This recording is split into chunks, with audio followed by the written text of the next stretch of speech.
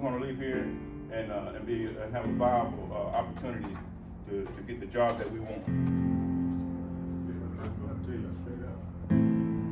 The cargo can be tracked, all the, all the uh, activities inside the cab can be tracked in real time.